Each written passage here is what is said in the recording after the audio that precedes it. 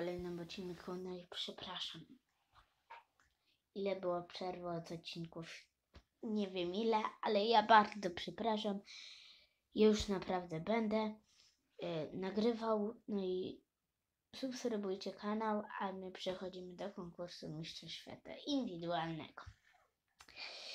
Porządny skok oddał Stefan Kraf, który skoczył 132,5 metra i 134. No i proszę Państwa, on został mistrzem świata.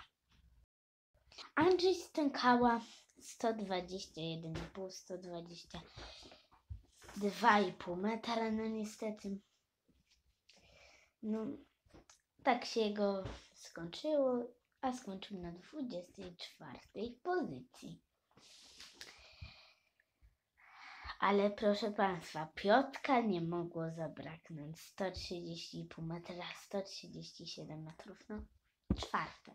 Ale proszę Państwa, on by wygrał, jakby trochę Niemcy nie pooszukiwali i mu tyle punktów nie odjęli. No dobrze, jak Piotka czwarty, no to musi też być trzeci zawodnik tych mistrzów świata na większej obiekcie, więc 132, 132 dało mu to trzecią pozycję. Dawid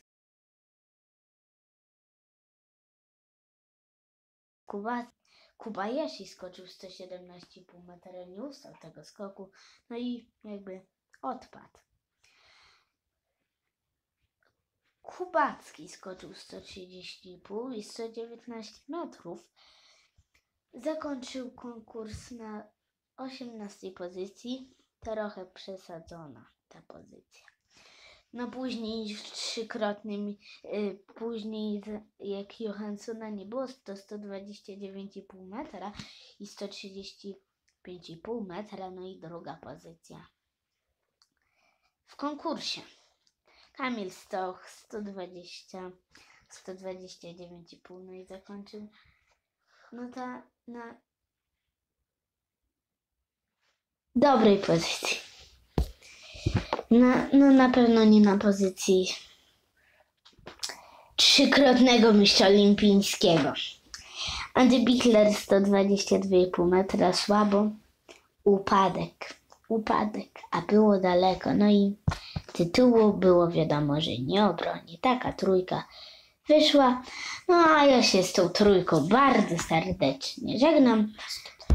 E, A, Stok był 19, proszę Państwa, e, moi drodzy, no i zapraszam do kolejnego dzisiejszego odcinka. On już zaraz, a ja się z Wami żegnam, no i yo.